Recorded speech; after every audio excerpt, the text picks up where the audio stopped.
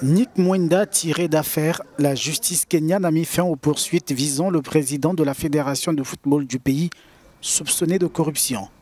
Un non-lieu prononcé jeudi faute de preuves. Nick Mwenda avait été arrêté le 12 novembre après la mise en place d'un comité chargé de gérer le ballon rang dans le pays. La fin de l'épisode augure donc une nouvelle ère pour le football au Kenya. Le championnat national de la discipline reprendra le 4 décembre. Mais la menace subsiste. L'accusation a promis de faire appel du verdict rendu jeudi, affirmant que la FKF n'a pas réussi à rendre compte des sommes allouées par le gouvernement.